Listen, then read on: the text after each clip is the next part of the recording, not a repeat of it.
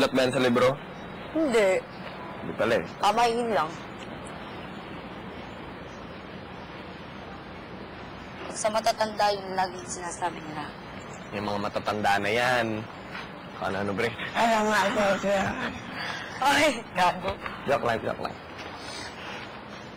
Dapat ginagalang mo sila. Ginagalang ko naman sila eh. Ginagaya ko lang. Kasi mga lola't lolo natin sila. Tama. Sila ang nagtatayong pillars ng ating lipunan. Ang Tagalog ng pillars? Eh, hindi yung parang Pundasyon. pundasyon. Sila, hindi. Ang pundasyon Sila ng ang kabataan. nagiging pundasyon ng Hindi bawat pundasyon. kabataan. May Tagalog ng pillar. Sila ang haligi. Pundasyon, naligi, pareho lang yun eh. Hindi kaya. Ewan ko sa'yo. Ah, ganun. Joke.